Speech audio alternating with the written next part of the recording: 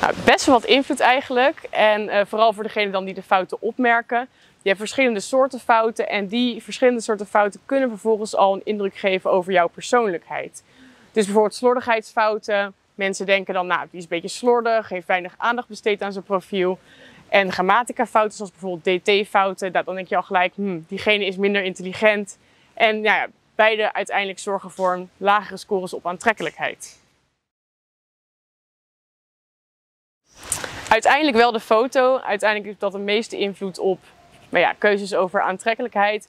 Maar onze studies hebben wel laten zien, mensen besteden wel echt aandacht aan de tekst. En ze gebruiken het ook om een indruk te vormen. Dus je kunt helaas niet compenseren als je bijvoorbeeld heel knap bent uh, met, je, uh, met je foto. Want mensen zullen ook naar je tekst gaan kijken.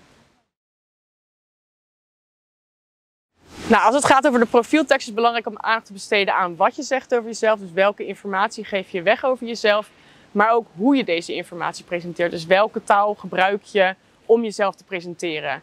En hier kun je denken aan een originele profieltekst, uh, bijvoorbeeld door het gebruiken van metaforen.